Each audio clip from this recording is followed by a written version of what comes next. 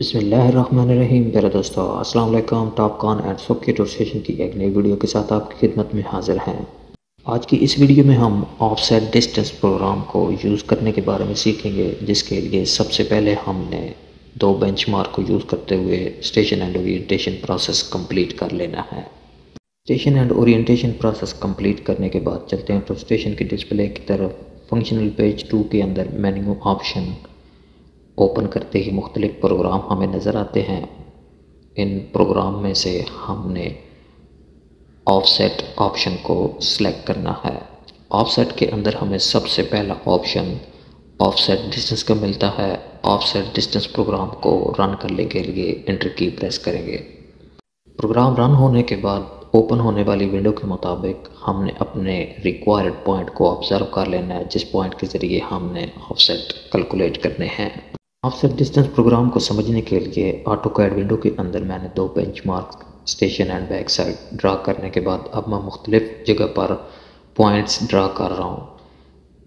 Road station کے ساتھ ہم کسی بھی ڈائریکشن میں ایک پوائنٹ کو آبزرو کرنے کے بعد روڈ اسٹیشن اور اس آبزرو کیے ہوئے پوائنٹ کے درمیان آف سیٹ کیلکولیٹ کر سکتے ہیں۔ دوبارہ سے اب ہم آ چکے ہیں۔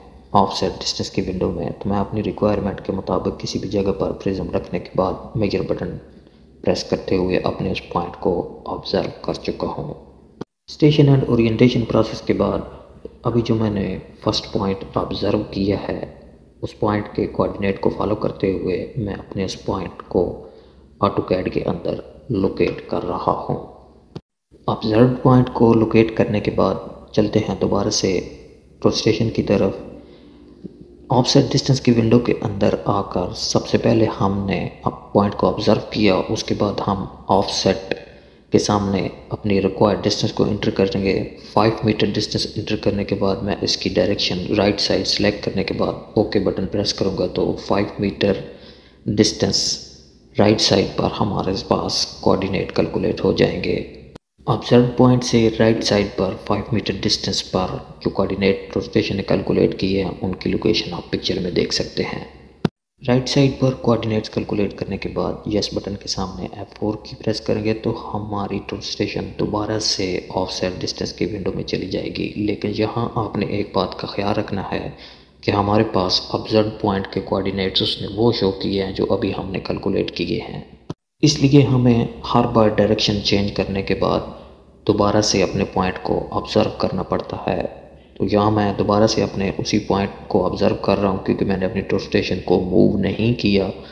تو میں دوبارہ سے میجر بٹن کے سامنے اب تھری کی پریس کروں گا تو میرے اس پوائنٹ کا ڈیٹا آبزرو ہو جائے گا جو میں نے پہلے آبزرو کیا ہے۔ دوسری بار بھی سیم پوائنٹ کو آبزرو کرنے کے بعد اب میں اونلی ڈائریکشن چینج کر رہا ہوں۔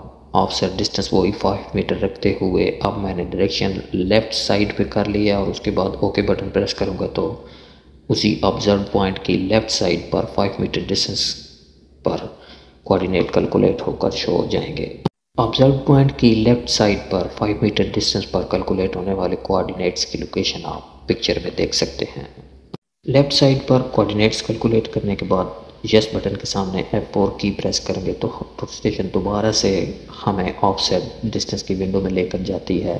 یہاں آپ دیکھ سکتے ہیں ہماری ٹور اسٹیشن نے وہی کوآڈینیٹ سیٹ کر دیے ہیں جو کہ ہم نے کیلکولیٹ کیے ہیں، لیکن ہم نے اپنے فرسٹ پوائنٹ کو دوبارہ سے آبزرو کر لینا ہے۔ تو میں اپنے پوائنٹ کو دوبارہ سے آبزرو کرنے سے پہلے ڈائریکشن اور آف سیٹ ڈسٹنس چینج کر رہا ہوں۔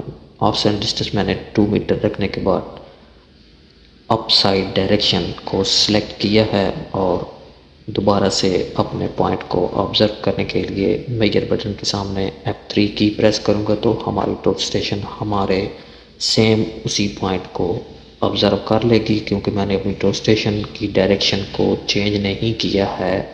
سیم اسی جگہ پر رکھے ہوئے لاک کیا ہوا ہے.